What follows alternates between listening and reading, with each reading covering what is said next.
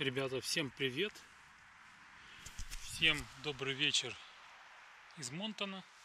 Сегодня я вам покажу, хочу снять вам обзорчик небольшой на такой вот садовый инвентарь.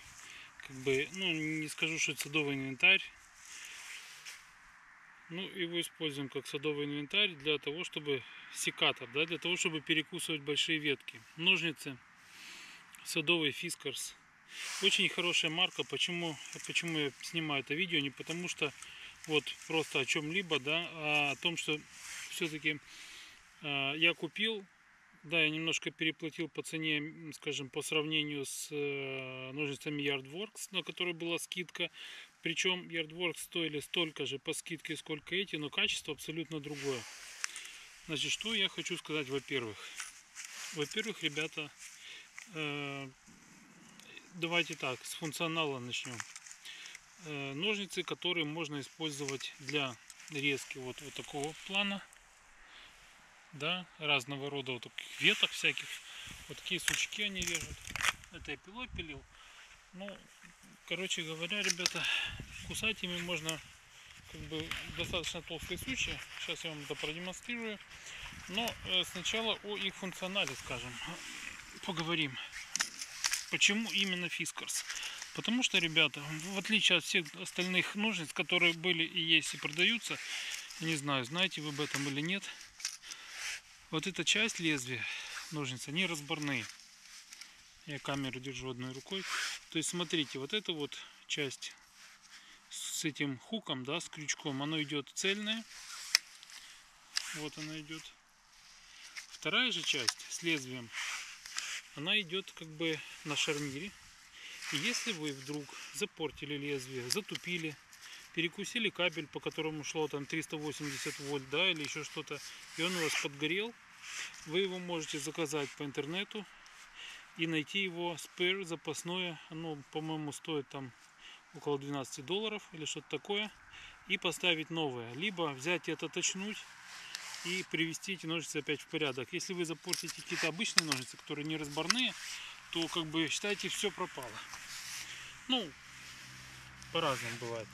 Теперь, для, для больших силачей, которые здесь предусмотрено такой так называемый буферный тормоз. Если у вас слишком много силы, и вы перекусываете какой-то толстый сучок для того, чтобы щипцы эти, секатор не ломался, посмотрите, как мудро сделано. Здесь есть так называемый резиновый буфер, который не дает этим ножницам сомкнуться полностью. Теперь, как вы видите, все это разборное. Все это на болтах, все это можно открутить, поменять. Там выровнять, допустим, кувалдой подстукать, если вы что-то, ну, к примеру, забыли, случайно наехали машиной, да, каким-нибудь, не знаю, траком там или еще что-то, то, в принципе, в принципе, вы можете его выровнять с помощью тисков там, привести его опять в божеский вид, можно будет пользоваться. Значит, дальше. Э, скажем так, все остальное. Нету алюминия, нету никакого силумина или сплава. Ручки удлиняются, ручки телескопические. С помощью этих рычагов можно кусать достаточно толстые сучья, я уже пробовал. Но они не для этого предназначены, я так понимаю. Сейчас я их открою, секунду.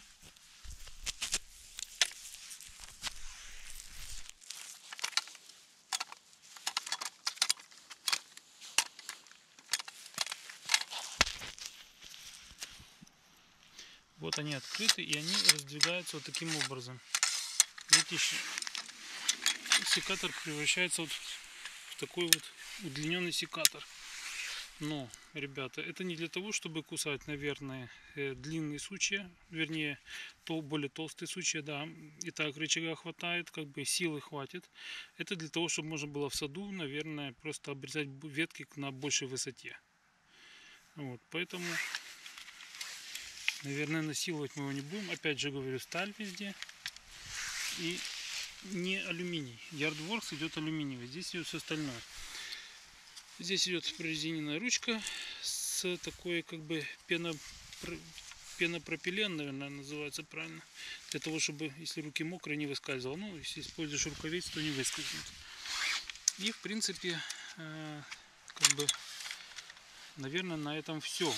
Единственное, что хотелось бы сказать, что, э, ребята, я очень рад, что я их купил. Дело в том, что на Украине у меня были немножко другие. У меня были китайско-польского производства компания Ято, которыми я очень много кусал, забывал их э, в траве, они зимовали у меня там под снегом, немножко поржавели, но все равно ими пользовался.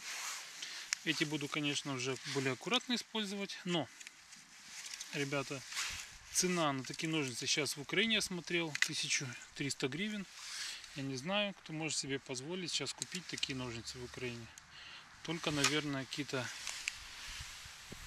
Ой, только, наверное, какие-то олигархи, что ли. Потому что ну, цена реально неподъемная. Здесь они стоят 42 доллара с налогом. Ой, без налога. Налог еще 15%. Поэтому получилось где-то у меня, по-моему, 47 долларов за ножницы. Но я взял их. Не стал брать Airworks, потому что Airworks алюминиевые, все заклепки.